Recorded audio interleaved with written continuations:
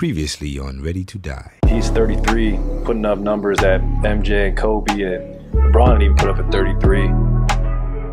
It's because we don't really have time to to step back and acknowledge because you have to keep doubling down. There's so much young talent in this league, and, um, and and winning is so hard. Like you can't let your foot off the gas pedal, and I feel like that's that's the uh, the gas in the tank for me.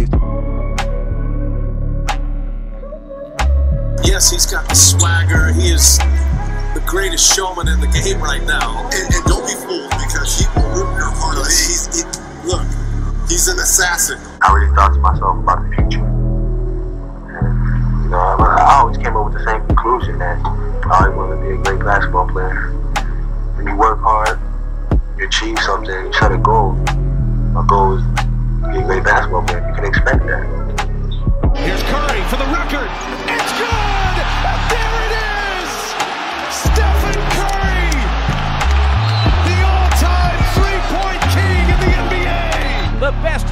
The game has ever seen has cemented his legacy.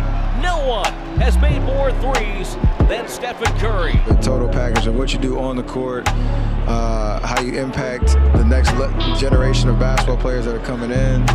Um, how basketball has a much farther reach, um, you know, outside of the 94 feet Yeah. in terms of impacting communities, giving back, you know, changing narratives in society, all those type of things. So, if I can be a representative of that and, and be as and nobody's perfect, but be a, you know as close to the full package in terms of uh, taking advantage and, and leveraging all of those for for some amazing change and good things, then uh, I'm gonna keep doing it. So basketball is such a, a, vehicle for a lot of amazing things. It's changed my life, obviously, and uh, I want to keep uh, doubling down on that and, and honoring that position for sure.